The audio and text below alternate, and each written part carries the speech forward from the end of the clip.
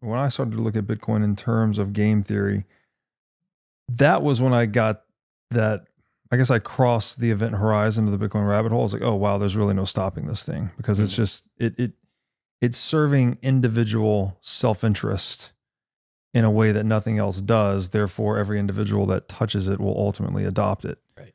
And so I've I've, I've tried to describe that phenomenon as like a, a vortex of positive incentives that no one knows how to turn off.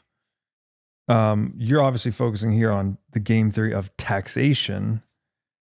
How does Bitcoin impact the game theory of taxation? So, net producers for society, they don't want to be taxed, right? They're going to do whatever they can. They're going to hire, you know, sort of the best tax attorneys, go to the most stable political jurisdiction where they have the least amount of their wealth confiscated, right? Because wealth is it's better in the hands of the private individuals and, and businesses than it is in the hands of government. I mean, all you got to do is go look at the DMV or Mhm. compare, you know, the US Postal Service to Amazon or FedEx, right? The free market does things better. And so rational net producers are going to go where they're they're treated best, where they're not having their wealth taken through taxation. And so Bitcoin is unique because it's wealth that isn't restricted by borders. Like we said before, a lot of you know the function of money has been divided, right? And so people save in assets. And if a large chunk of your savings is Miami Beach real estate, that's that doesn't alter the game theory of taxation because you can't take that with you somewhere else, right? Mm. You are in a way you're you're cucked to Miami Beach, you're cucked to Florida, you're cucked to the United States. You your wealth is there and there's nothing you can do about it, right? But Bitcoin, you can store it literally in your head. You can have 12 or 24 words and you can take it anywhere. So you can go to the place where you're going to be treated well as a Bitcoiner and as an entrepreneur. I mean, we've seen this on a microscopic scale with El Salvador, right? And in the grand scheme of things, like it's cool what they're doing and I respect it, but they're just a drop in the bucket in terms of global economic production. But they are incentivizing Bitcoiners and, and other entrepreneurs to go there, right? Because they're they're defending property rights by arresting criminals and by embracing Bitcoin. And so you're getting entrepreneurs going there that otherwise wouldn't, right? It was the murder capital of the world. It was not going to ever really be any sort of economic powerhouse in that in those conditions, right? But now they're actually drawing people in.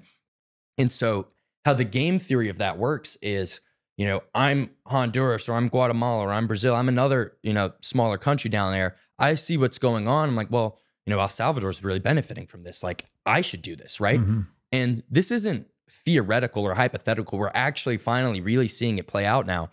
In 2024, we've seen President Donald Trump really promote Bitcoin. He went to the Bitcoin conference. He's saying, I want all the Bitcoins to be mined in America. And last week we saw the we saw Russia legalize Bitcoin mining, right? We're seeing even China turn their tune and they banned Bitcoin mining in 2021, right? And so they're not they they're looking at what the United States is doing and they're like, Mhm. well, we want in on that. We want to benefit from that too. And so you're seeing all these dominoes really start to fall. And even within the United States, you can see that there's competition, right, between the various states on who is the most pro Bitcoin. Is it Florida? Is it Texas? Is it Wyoming, North Carolina, Tennessee, right? Certain, you know, savvy politicians that are are seeing where this is going, they're adopting pro Bitcoin legislation. They're saying, hey, Bitcoiners, Bitcoin companies, come here. Like, we'll treat you well. Miners, come here. And so that's how game theory and, and taxation is really playing out in, in the Bitcoin domain.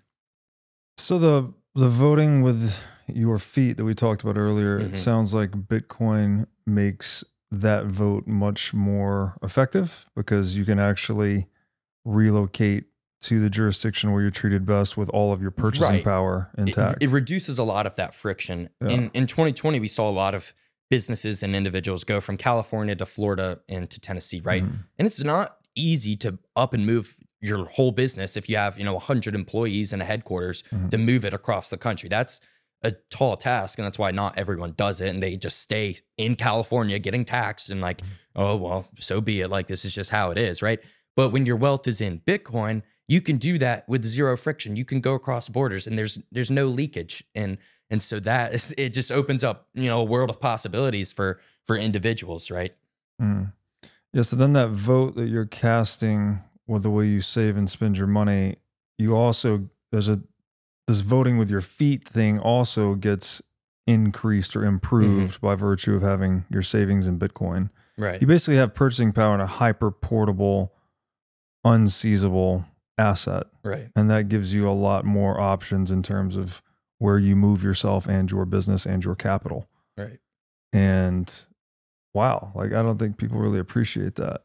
No, they, they definitely don't. I mean, Mm. there's so many so many things that that Bitcoin does where it changes incentives and, and how people can actually act now that you have a money that satisfies all three functions and it can't be taken from you. Thanks for watching. If you enjoyed this episode, click here to find more just like it, and here to find our most recent episode. Also, make sure to like this video to help shine light on the corruption of money, and be sure to subscribe to this channel to stay connected.